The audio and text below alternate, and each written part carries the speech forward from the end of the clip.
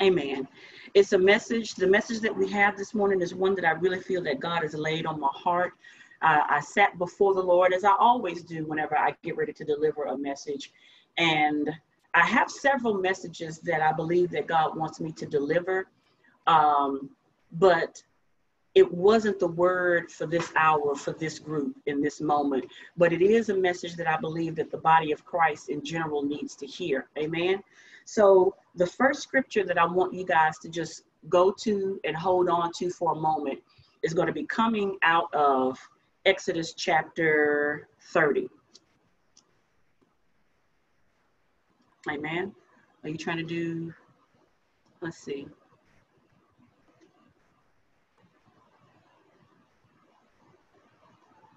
We're going to be coming out of Exodus chapter 30, verses 11 through 16.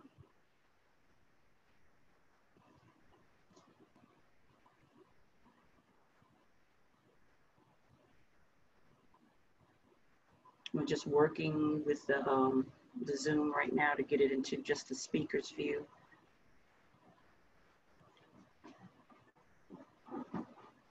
So this is a, a new platform that we're trying for this this morning. So if y'all would just bear with us, just hold on just a little while longer.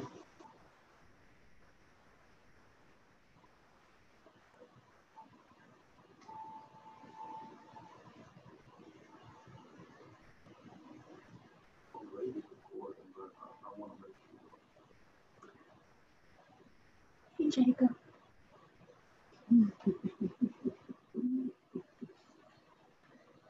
so are you trying to get it to the presenter's view or are you just trying to get it to record? I'm just trying to, well, I don't know if it's recording all of what we're seeing right now and we'll edit all this out. So y'all just bear with us. I'm sorry.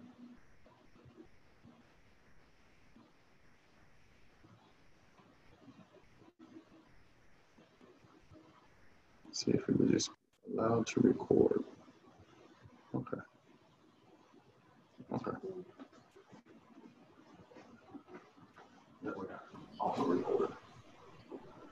Okay. Okay, so the first scripture that I want you guys to go to and put a uh, in for right now is going to be Exodus chapter 30, verses 11 through 16. But the title of the message this morning is called The Silver Thread of Redemption. It's a message that's actually been in my spirit probably since the inception of the ministry that God laid on my heart to begin, which is Commissioned Ministries. And it came out of um, the inception of the ministry when I was choosing church colors. I know that seems kind of arbitrary, but it's like I feel like there was meaning behind everything that I was doing. And the colors of our ministry are blue, silver, and white. And as I began to research all of the meanings behind the different colors, because God doesn't do anything haphazardly, I realized that there was a special meaning behind the color silver. And as I was praying and asking God to give me a word for this morning, He took me to this message that has been in my spirit probably since 2008. But I don't think I've ever actually preached the message. It is on our website, it is in our church documents, but it's not a message that I've ever preached. And so it's one that God has been communicating since time immemorial the silver thread of redemption. The message this morning is about the message of reconciliation, restoration, and healing.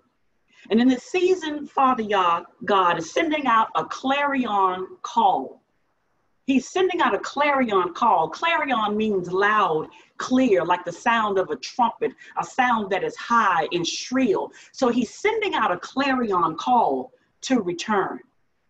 The message is not new, for there's been a silver thread of redemption that has been woven throughout human history in God's dealings with mankind. And while the silver thread has been woven throughout the Old and the New Testament, present in the law and in the grace, it is certainly not new. But there is an urgency for his ambassadors to sound the trumpet and call people back because we have entered into a season of judgment. Bless you, Lord God. And we are now experiencing what I believe to be the birth pains spoken of Yeshua HaMashiach in the Olivet Discourse that is found in Matthew 24. And so while we are still, though, in this period of grace, even though we have entered into the period of the birth pains that Jesus spoke about, we are still in a period of grace. Our job is to proclaim this message and to reveal the silver thread of redemption to our sons, to our daughters, to our fathers, to our mothers, to our brothers, our sisters, our friends, our neighbors. The word is telling us that we are to be his ambassadors and to sound the clarion call to return. Zechariah 1 and 3. It says, Therefore say to the people, This is what the Lord of heaven's army says Return to me, and I will return to you says the Lord of heaven's armies. These are the instructions that God was given to Zechariah to tell the people, if you return to me, then I will return to you. That message is a message that was from the foundation of the earth. It was going all through the Old Testament during the time of the law, and it is going all the way into the New Testament. And now that message has become more urgent now than it has ever been because we are in a season of judgment we can see Yahuwah as the great heavenly exchequer. And I don't know, I'm a nerd, so some of y'all may watch DS9. There was this um, this character or this this idea of the great heavenly exchequer. But God is the great heavenly exchequer. So what is an exchequer? Because I'm going to be using this term throughout the message. An exchequer or the exchequer is the government office responsible for collecting revenue and making payments on behalf of the sovereign, auditing official accounts, and trying legal cases relating to revenue. So the Exchequer Office is an office responsible for collecting revenue, making payments on behalf of the sovereign, auditing official accounts, and trying legal cases relating to revenue. So I'm going to be giving this uh, metaphor of God as the great heavenly exchequer. He has been weaving the silver thread of redemption throughout time. And he did it when he established the law with the people through Moshe or Moses and the establishment of the temple worship.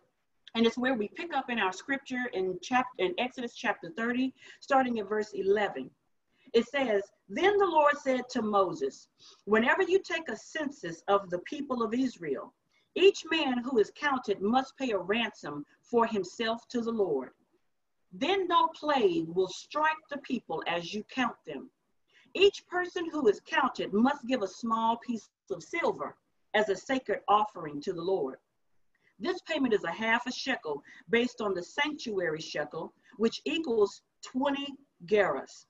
All who have reached their 20th birthday must give this sacred offering to the Lord. When this offering is given to the Lord to purify yourselves, you must making you right with him. The rich must not give more than the specified amount, and the poor must not give less. Receive this ransom money from the Israelites and use it for the care of the tabernacle.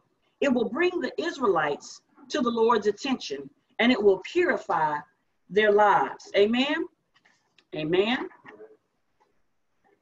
So before we can continue talking about the silver thread of redemption, we have to understand what God is doing right here in Exodus chapter 30, verses 11 through 16.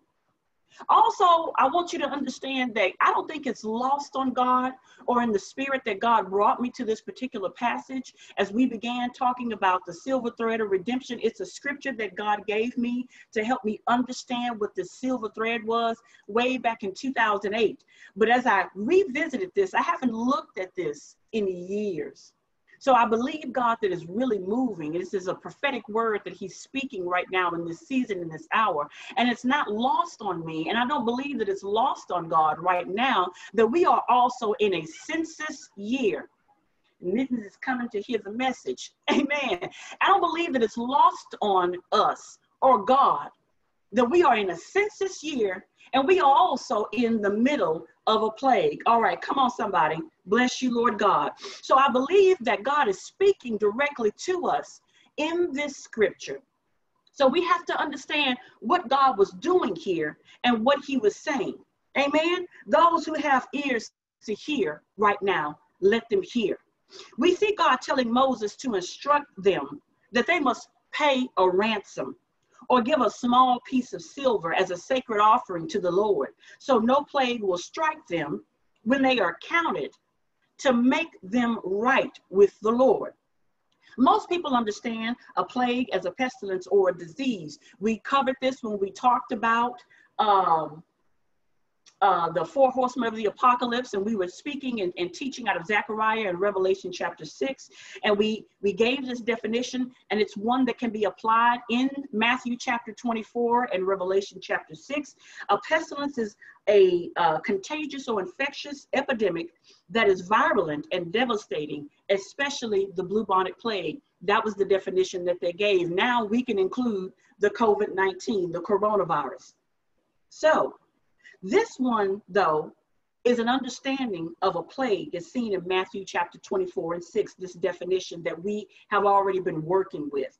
However, this does not fully explain, explain what a plague is and what the word means or why it happens. Because what God told Moses is that they must pay a ransom so that no plague will come upon them. So, what are we talking about here? If we're not specifically talking about a plague as we know it, we have to understand what God was saying to them in this word. Well, first of all, why does a plague happen? A plague happens or it occurs as a judgment on sin. So, that is the why. So, when God sends a plague, please understand and know that it is a judgment on sin. But the word plague here means a blow, a strike, as in to strike a blow or to hit. It also means to cause to inflict something unpleasant or painful to be suffered by someone or something. It also means a stumbling, as in the foot strikes a stone, which causes it to stumble. So when we insert this meaning and this understanding of what a plague is in the Hebraic sense of the word, other than it just being about a virus or about some other major occurrence. We understand that a plague is, it occurs because of a judgment of sin, and a plague is, or it means to strike, to hit, to blow, or it means to cause to stumble, as in a stone which causes to stumble. And we know that Jesus is the stone which causes people to stumble. So Therefore, Pharaoh and Egypt were hit or struck with a judgment from God that was manifested through boils, frogs, hail, locusts, and more. So that's the how. So when we see Pharaoh and Egypt being struck with plagues, they were hit with a judgment, and the manifestation of it was the things that we saw them experience. That is the how. Proverbs 19 and 29 affirms that a judgment is a strike because it says, Judgments are prepared for scoffers and beatings for the backs of fools. And if we take that literally, we think that we literally are saying that fools are to be beat. That's not what we are saying. That's not what the scripture is saying. It's saying that people who scoff at God, who scoff at repentance, who scoff at heavenly things and God's presence and his sovereignty over the earth, people who don't acknowledge God in their lives, or people who are subject to be struck with a judgment. Amen. So, since we know that a plague is a judgment or a hit or strike for sin, we now understand that the method for judgment can vary, as we have seen throughout the scripture, such as a drought, or a disease. So when we see a plague, we are seeing the manifestation of it, but we're not truly understanding that it is a hit or a strike or a judgment for sin. The methods may vary, but the reason why is always still the same. The method which God chooses to execute judgment is not as important as why he does. However, we must be careful to not draw a direct parallel to biblical plagues and the current plague we are seeing today because both believers and non believers are experiencing this current pestilence. Amen. So when God instructed Moses to have the people pay a ransom with a silver coin to avoid a plague, it was ultimately to avoid judgment for their sins. I'm going to say that again. When God instructed Moses to have the people pay a silver coin or a ransom for their sins, it was to avoid judgment for their sins. It was to purify them, to make them right with Him. Amen? It was to make them right with Him. So then, silver in Scripture is associated with the price of redemption. It is associated with atonement and reconciliation. Law, Yah laid the silver thread of redemption through the tapestry of his covenants, first through Moses, then through Jesus. First Peter 1 and 18.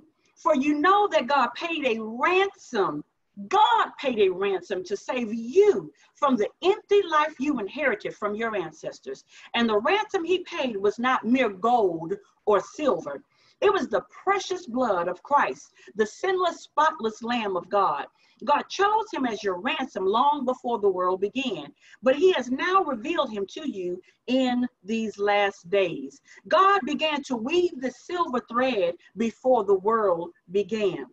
Because it says God chose him long before the world began. So the silver cord that he's been running for our redemption, for our reconciliation, began before the foundation of the world. Silver is a reminder of the high price that was paid for our sins. Silver is a reminder of the free gift of salvation and the obligation to serve or to be slaves to the one who paid the price.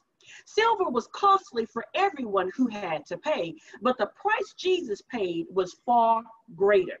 The tapestry is the word of God, which displays the picture of the coming kingdom. And in it, God has weaved in and out his plan for salvation, reconciliation, and redemption. Throughout the text, we can see the threads of God visibly repeating the same message over and over again Come back to me.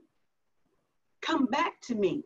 We can see it in the prophet Isaiah's words Isaiah 53 5 through 6. But he was wounded, he was struck for our transgressions, for our sins. He was wounded, he was struck for our sins. He was bruised, receiving the strike and getting the bruise for our iniquities. The chastisement for our peace, the judgment, the chastisement, the hit, the strike for our peace was upon him. And by his stripes, a stripes the word plague also means stripes. By his stripes, we are healed. Bless you today, Lord God. So, for all of you who are suffering in your bodies right now, Jesus is the one that took the strike. He's the one that took the stripes. He was the one that's wounded in your body, in your mind, for the depression that you are experiencing right now. He is the one that took the strike for the things that we are going through in our bodies and in our minds. All we like sheep have gone astray. We have turned everyone to his own way, and the Lord has laid upon him the iniquity of us all. We have all sinned and fallen short of the glory of God. And in the law of Moses during his time, the people had to come up with a piece of silver, regardless of whether you were rich or poor, regardless of whether you had the money or not. You had to come up with a piece of silver, a silver coin, in order to be uh, uh, removed from the penalty of sin so that no plague, no strike, or judgment for your sins would come upon you. But when Jesus came, Isaiah prophesied that he would be the one to pay the price. He would be the one that will receive the strike or the judgment for the, fa- the fact that we've all fallen short.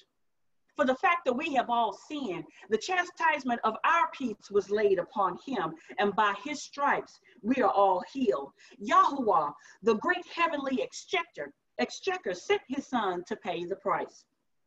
And because of him, I can sing a, sing a refrain from the hymn saying, Jesus paid it all all to him I owe. Sin has left a crimson stain, but he has washed it white as snow.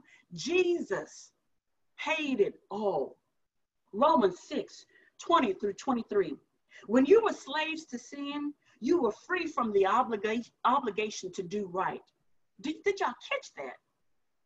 when you were slaves to sin. So if you are a believer and you've been a believer for a while, or even the very day that you became a believer, you are no longer a slave to sin. So why are we going around saying, I can't do this and I can't help it? And that I feel like I'm going to wind up doing this and I'm going to do that. And that if I curse you out, it's your fault. You're going to make me cheat on you. Whatever it is, uh, uh, uh, uh, you know, I had to tell a white lie. No, no, no, no, no, no. The day that you become bought back to God through the blood of Jesus Christ, you are no, all, no longer under the obligation to sin. So stop saying that. We need to stop saying that. Bless you, Lord God. Where am I at? Romans 6, 23, 22, 23. See, I'm, I'm trying, I'm trying to get ahead of myself. It says, when you were slaves to sin, you were free from the obligation to do right. You didn't have any obligation to do right when you were a sinner before you got saved. And then, but what was the result? It tells you something, then it asks you a question. What was the result?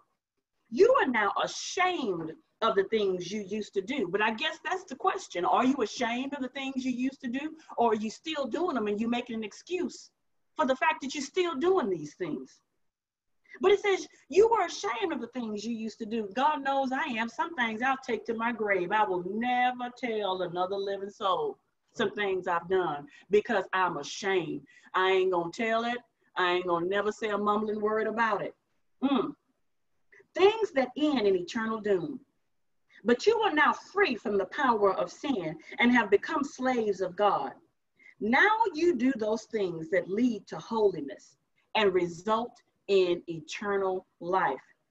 For the wages, the wages, the wages of sin is death, but the free gift of God is eternal life through Jesus Christ our Lord. So when we start reviewing these scriptures about being struck about the wages of sin, about the free gift of salvation, we understand that God, the Father, is the great heavenly exchequer in heaven that is weaving the silver thread of redemption throughout time. Bless you, Lord God. Second Corinthians 5 18 through 21. And all of this is a gift from God who brought us back to himself through Christ. And God has given us this task, believers, brothers and sisters. He has now given us this task of reconciling people to him. For God was in Christ, reconciling the world to himself. Now, hold on. I don't know if y'all caught that or not, but that's a bad God right there. For God was in Christ, reconciling the world back to himself. That's that's I don't know if I don't know if y'all caught that, but that makes me want to shout right there. When I think about God the Father being in Christ the Son, reconciling people back to himself. So I don't know if y'all might have missed that. But anyway, no longer counting. Do y'all hear this? Counting like counting money. He was no longer counting people's sins against them. And he gave us this wonderful message of reconciliation. So we are Christ's ambassadors. And this was one of the first Bible studies that I ever did when I launched out on my own in ministry about being an ambassador. So it is no mistake I believe that we are revisiting this because this is the season and the word for the hour right now. We are Christ ambassadors. Verse 20 God is making his appeal, he's making his appeal through us. We speak for Christ when we plead, come back to God. For God made Christ, who never sinned, to be the offering Come on, for our sin, so that we could be made right through Christ. Remember Exodus chapter 30? They paid the silver coin so that no plague or strike of judgment for their sins will be count, counted against them. They paid the silver coin so that they could be made right with God. But now God made Christ, who never sinned, never sinned, to be the offering for our sins so that we could be made right with God through Christ. What the silver coin used to do was make us right with God. Christ has now paid that price once and for all. He has reconciled us. And that, that's all wonderful and great and all, but what does it mean to be reconciled? And what does it have to do with the silver thread of redemption that God has been weaving throughout time? Well, first of all, we have to understand what reconciliation is. It comes from the Greek word katalazo, and it was originally used for the exchange of coins. How awesome is it of God to have communicated that, that reconciliation was originally a word used for the exchange of coins, properly to exchange, especially of money, hence of persons, to change from enmity to friendship, to reconcile. There's an exchange happening. So when we talk about reconciliation, we're talking about an exchange. But in accounting, the word reconciliation is the process of ensuring that two sets of records are in agreement. Reconciliation is used to ensure that the money leaving an account matches the actual money spent. This is done by making sure the balances match at the end of a particular accounting period. I don't know if y'all are catching that. Reconciliation is the process of ensuring that two sets of records are in agreement. That is why it is written in Colossians 2 and 14. He canceled the record of the charges against us and took it away by nailing it to the cross. He imputed Christ's righteousness into our account. He removed our charges and he gave us his record. Christ's record was that of a sinless, spotless lamb. Our record are, is a record of sin and shame and guilt. So, in order for us to be reconciled in accounting, when you do your checkbook, you have to reconcile. You have to reconcile your account to make sure that what the account is saying online is matching up. Well, and I don't nobody, don't nobody do checkbooks no more. And some people do, but not a lot of people do. Don't nobody really do that no more. We just check our account every day. But back in the day, before online accounting, and you would get you would wait every month to get your bank statement, you would have to, and I know some of us are, are doing bookkeeping for our jobs and for different things, so we still have to reconcile the records. You have to look at what you have spent and what the account says in order for those things to match up. And what God has done as He's looked at the record of Christ and he's looked at our record. And in order for our record to match Christ so that our sins would not be counted against us, we made an exchange.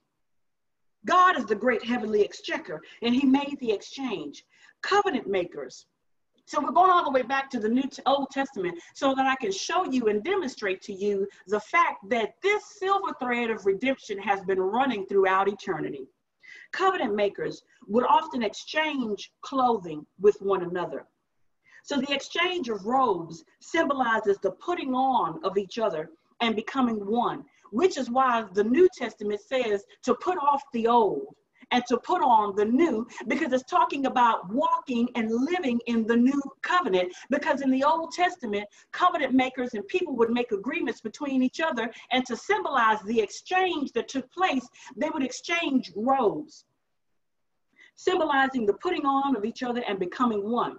It says that I give you all, by doing this, it says that I give you all that I have, and you give me all that you are.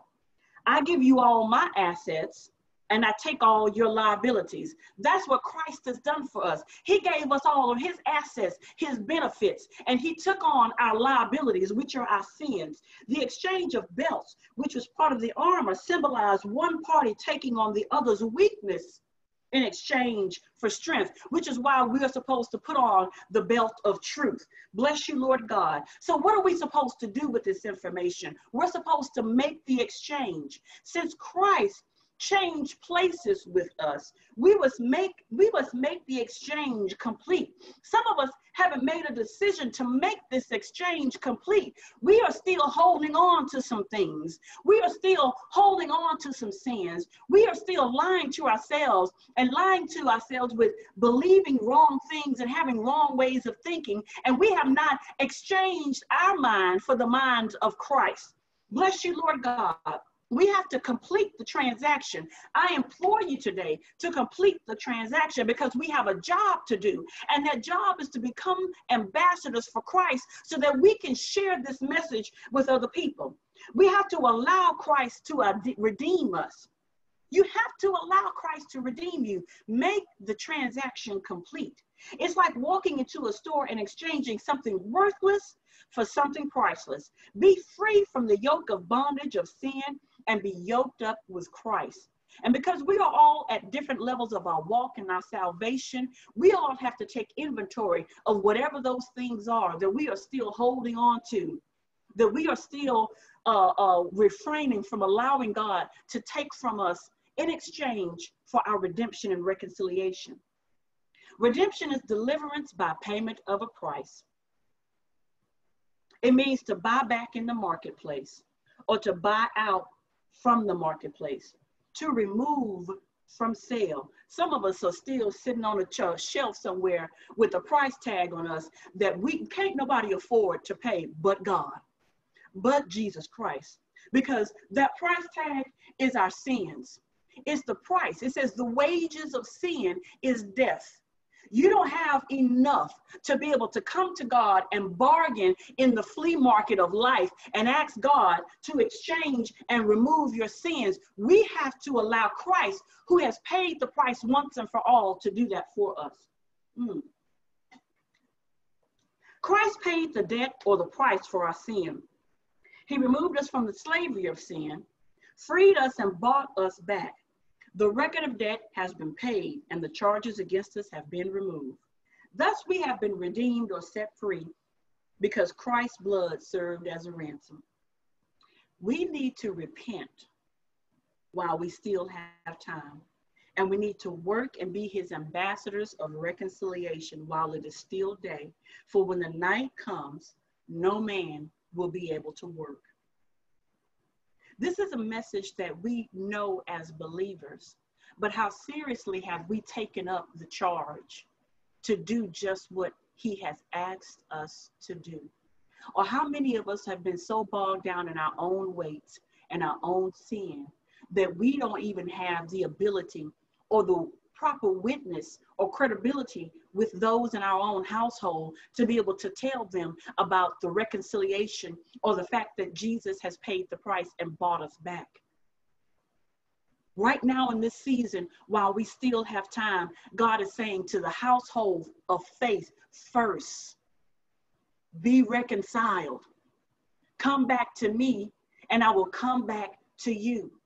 It doesn't matter what you've done, or where you're at in your life or where you've been, even if it was just this morning that you sinned, you fell short. Jesus is saying, God is saying through that silver thread of redemption, the message has always been the same. He laid it before the foundation of the world. He wants and desires to have a relationship with us and for us to be right with Him. That is all He's ever asked for. That is what the entire Old and New Testament is about the story of this silver thread of redemption. We need to repent while we still have time. The invitation is open to repent, and repent means to turn to God from our sins. Turn back to God with your whole heart. Second Chronicles 7, 13 through 15. At times I might shut up the heavens so that no rain falls, or command grasshoppers to devour your crops, or send plagues among you. That is the how of the plague. So, in other words, God is saying here we have a new understanding of this script, these scriptures, and we see that the message has been throughout all of these scriptures that we have quoted and recited. We can see it in the proper context, in the proper light. He's saying sometimes when you fall short, I'm going to send a strike against you. I'm going to inflict something on you so that you can suffer so that you will be inclined to return to me. And so, how does he do that? Through plagues, the various methods, droughts, grasshoppers. Right now, we know that there's a, uh, a locust plague that has moved from Africa to the Middle East, as they call it, over into India now, these locust plagues. So there is there are multiple strikes and judgments against the world. That is why I say it that we need to see what is happening because this is worldwide. Amen. These various methods where God uses to get our attention. Bless you, Lord God. Or send plagues among you. Verse 14. But then, if my people who are called by my name will humble themselves, surrender, yield. Stop trying to do things your way. Stop trying to have it your way. Stop seeing things through your lens. If you would humble yourself under the mighty hand of God, if you would humble yourself and pray and seek my face and turn from their wicked ways, humble themselves, pray, seek his face, and turn from his wicked way, their wicked ways. Then will I hear from heaven, and my ears be attentive. Remember in Exodus chapter 30, verses 11 through 16, I believe it was the final verse. It says, let me go back to it. It says, when you bring the silver ransom, the silver coin as a ransom, it says it will bring the Israelites, the Lord, it, it will bring the Israelites to the Lord's attention and it will purify your lives. When they brought the silver coin, it got God's attention. And he says that when you do these things, humble yourself, seek, pray, and turn. My ears will be open, and my eyes will be open, and my ears will be attentive to every prayer made in this place. When we repent, when we bring before God the sacrifice upon us that Christ has made, it gets God's attention. You have been screaming, you have been yelling, you have been doing all kinds of things. You may have even been cutting yourself or whatever it is in an attempt to get somebody's attention, but really, you're really just trying to get God's attention. You may not even realize that this is what you're doing. You may have been drinking. You may have been smoking weed. You may have been having sex. But what you're really trying to do is get somebody's attention. You're crying out. Your sins are causing you to cry out. But those aren't the things that get God's attention. He says that if you humble yourself, if you pray, if you seek his face, and then turn from your wicked ways, when you bring that offering, that free gift of salvation, and it is upon you, God says, then I will be attentive. Then my eyes eyes will be open and attentive unto you. The Lord's Prayer demonstrates that we are to pray for our nation's leaders. But this, along with other scriptures, demonstrates that we are to call our leaders to repentance as well. Proverbs 6 16 through 19. The Lord hates six things. In fact, seven are detestable to him arrogant eyes, a lying tongue, hands that shed innocent blood, a heart that plots wicked schemes, feet eager to run to evil, a lying witness who gives false testimony, and one who stirs up trouble among brothers. Our nation may have been founded on God like principles, but indeed, it has been ruled by the things that God hates. So, on the one hand, they're saying we are a nation that has founded our principles on God, but at the same time, they were founding this nation on the things that God hates arrogance, thinking that I'm better than somebody else, that Black people have a, a permanent inferior status. That's arrogance, a lying tongue. Oh God, we can go on and on and talk about the lying tongue and we know that there are many politicians and leaders who have a lying tongue and they've been lying for time immemorial. Hands that shed innocent blood. There's been so much blood that has been spilt on this soil. in the name of the manifest destiny, in the name of imperialism and colonialism, in the name of establishing a more perfect union. Blood was shed and spilt from innocent people in order for this nation to be founded and established. And I know I've taken a turn. I want y'all to go in and turn with me. We're talking about being ambassadors. We're talking about first getting ourselves right so that we can become his ambassadors. But you can't be an ambassador and you can't cry out the clarion, send out the clarion call if in your own life you are still struggling with personal sin. God is calling us to be elevated to a place that is higher, that he can use us because he was making his appeal through us now. First, God was in Christ saying to people, Come back to me. He was reconciling the world through himself. But now he's saying that he's making his appeal through us. But you can't do that if your witness is raggedy. If people see you acting like the world and acting like a sinner and cursing out your own family members in your house, he's not going to be able to use you. But what he's trying to do is get us in a position, saints of God, so that we can send out the clarion call to return.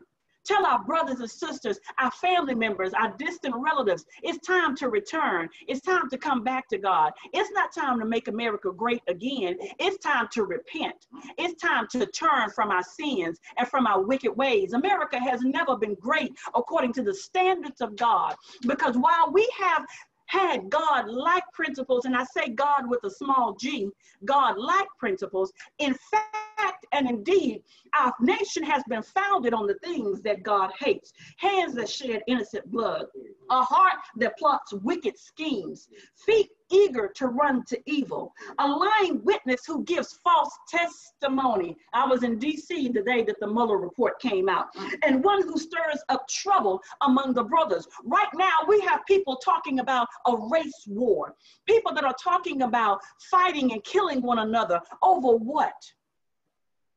To make America great again. Our nation may have been founded on paper with God-like principles, but indeed it has been ruled by the things that God hates. This message is one that is at a different elevation.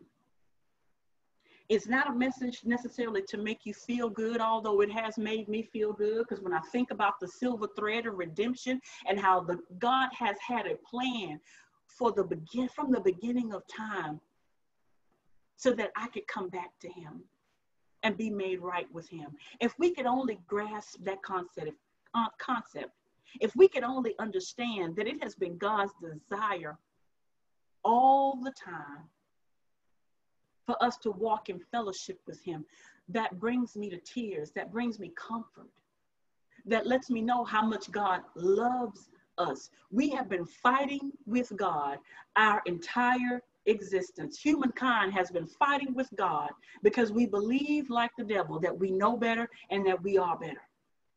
That we can choose our own destiny, we can choose our own path. That is what Satan offered Adam and Eve in the garden. He offered them knowledge to become like God, to be able to choose for yourself and know somehow better than God who created everything. And from then on, God has been saying, Come back to me. Come back to me. So, this message is not one that is supposed to make you shout and make you feel good. This is a call to action. This is a prophetic word that when we look out at the landscape of what's happening in the world today, we are in a season right now where we are in a period of being struck. The world is being struck we are experiencing plagues of various kinds because there is a judgment against the world. Jesus described it as the first of the birth pains. Do I believe that we have entered into the end times? Not just yet. There's a distinction between the last days, which existed between the, the, the time of Christ's birth, and it will, it will culminate up until the return of Christ right before the Antichrist or right before the world system is established and the Antichrist is revealed, then we will be entering the end times with the great falling away. I have a video about that.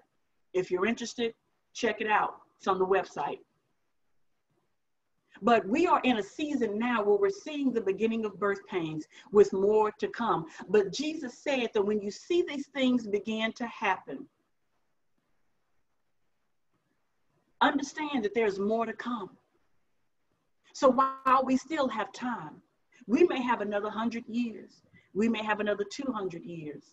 I don't know because Christ didn't give us an exact time. He said, You don't know when I'm going to return, but we can discern the times and the seasons. So, this is an opportunity for you to become workers for God that the invitation is open to you to be his mouthpiece.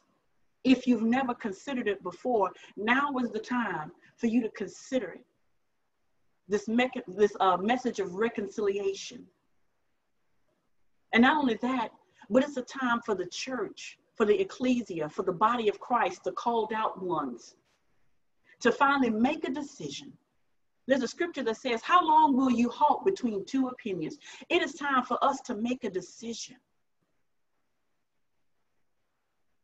to choose Christ, to make the exchange complete, to not lean on our own understanding, to not draw from other ancient knowledge, but to know and to preach and teach the message of reconciliation through Christ because we are in that season where there's an urgent need for us to do just that. Amen. So the message was the silver thread of redemption. I hope that you have taken heed to the things that have been said. Go back and listen to it again and again because I know that there was a lot of scripture that I, I threw out at you guys. But I hope that through this message, I've demonstrated that what God has done, what God is doing, and what God is going to do is all about making us right with Him, bringing us back to Him.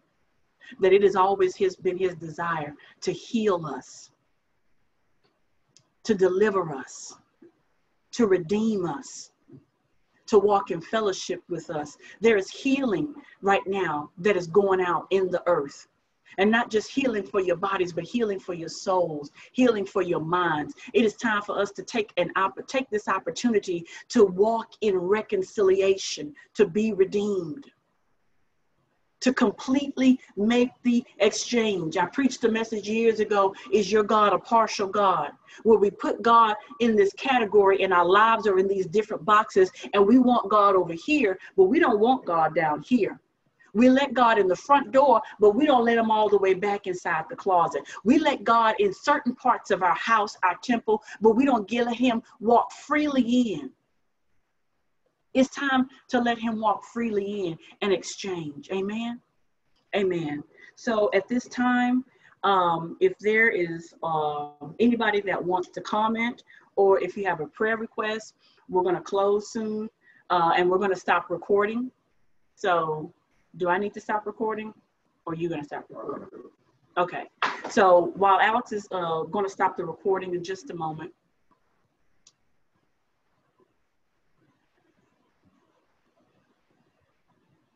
Amen.